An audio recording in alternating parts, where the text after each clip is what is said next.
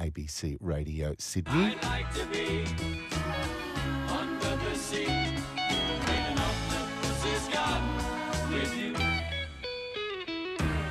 And he's staying in bed. Steve Coots joins us from the Sydney Underwater Gazette. Happy birthday to you. Happy birthday to you. You are celebrating a milestone. Yeah, we've had a couple of milestones, Simon. Good morning. Good morning. So you're fresh back from London and you brought this weather with you. Thank you. Actually, when I got to London, I, I thought, is this your summer? This is, this is way too cold. And I got back and we got this Art- or Antarctic blast. So, Did, did you do any diving in the uh, UK region? No, no. I was I was looking at the River Thames thinking I might give that a bash, but uh, I thought you might just find uh, shopping trolleys. Shopping trolleys and get mud all over yourself. So it is Sydney Underwater Gazette's maiden century on the ABC. It is, and what an honour! What an honour! And we'd like to thank you all uh, and the listeners for for putting up with uh, Marco uh, and myself uh, as we've been allowed to share our love of the ocean uh, with all the listeners. Well, it goes back to three years ago when the Viz Sydney Facebook page started. Yeah, Marco um, uh, had the had the idea of just setting up a little Facebook group, you know, just to, to share the viz and Just say, a you know, small you- group. yeah, just a little couple of mates, you know, getting together and saying, where did you dive? What was the viz like? You know, so let, let's try and plan our dives a bit better. And you kind of roll on three years, and we've now got a few more mates. We've got over nine thousand mates now sharing their visibility reports and encounters uh, to the general public up and down the New South Wales coastline. But also, what a diverse group of people participate. So we've got, you know, the ocean swimmers. That's like, you know, the bold and the beautiful off Manly, or there's a number of the other clubs that go down um, off, you know, Bondi uh, and, and the southern kind of areas. We've got our divers, uh, the free divers and the spearo community. They're always out doing their thing. And then we've got the uh, the bubble blowers, the scuba divers. with the self contained underwater breathing apparatus. uh, absolutely. You see, our educational seminars are working. And the great thing about it is, it is exactly that. Through those members, we learn stuff. Yeah, absolutely. You know, it- it's kind of that sort of citizen science um, project where, you know, where we think, what's happening in, in the world? What are we seeing? Has it always been there? Well, getting this collection of people together, we've been able to start tracking a number of different species to, to try and work out, you know, is, are, are, are what we thinking real or are we able to get more data points and start bringing that in? So we put together like a 10 species tracking list and try to, to better understand what's going on with these um, animals. And what did we learn in some of those 10 species? So things like um, there's breeding cycles. So the Port Jackson shark and the giant Australian cuttlefish, they have their sort of certain times of the year in which they sort of come into the bays to breed. Uh, and then you've got the, the wonderfully named gobbleguts fish. My favourite. it is. There's such a cool fish, and it broods its eggs in its mouth, and that that's been recorded at certain times in the year too. So uh, we also have the juvenile dusky whaler sharks that come into the bays each summer.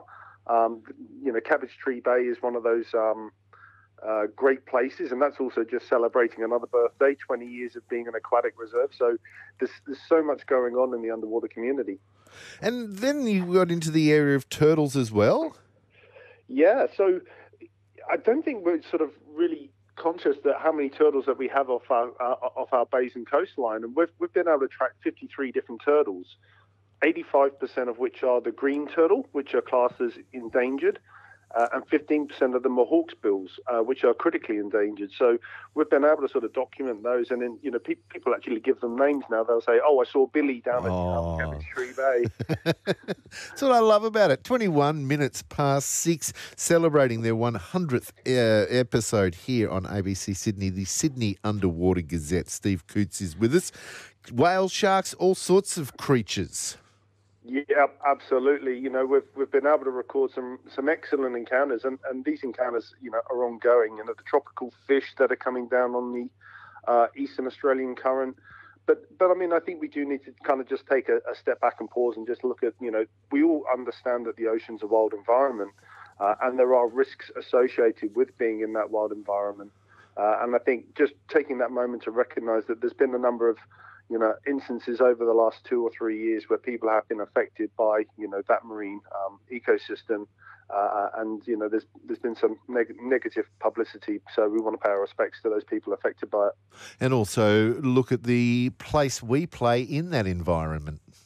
Yeah, and, and part of the, the turtle process has been we've been finding you know sick and injured marine life, um, and they've been sort of impacted by you know eating plastic bags and being um, impacted by fishing line hooks. We we had a shark that had one of those kind of um, aerobie frisbee things you know around it, which was um, going to kill it.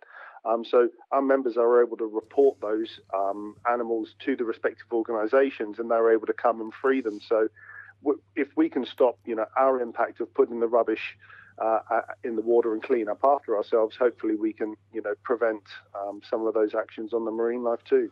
Well, it's a pretty chilly day. Uh, what is happening underwater? You say the visibility is good, but would you want to go out there? Drew's already told us, right, that there's uh, there's swells coming in, right? So I think it's probably better for those on top of the water with surfboards than it's going to be for those getting in the water. So I'm going to probably just stay all tucked up, warm in bed. Uh, the viz has been pretty good offshore, 10 to 15 meters, and harbours still three to five.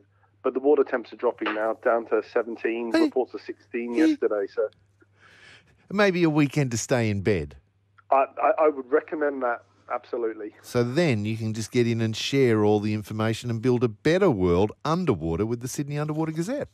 And, and if you check out our Facebook pages, you can live vicariously through what, what's been going on in the past. Oh, Vicky takes me underwater with all her Bare Island shots each weekend. You, Stephen Coots, have a happy 100 Thank you very much. Much appreciated. as the ABC celebrates 90